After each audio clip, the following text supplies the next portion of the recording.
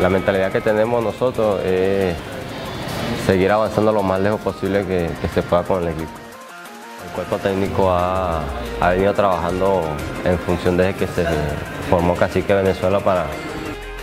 Todo está en, el trabajo, en entrenar, en entrenar cada día con dedicación, fortaleza.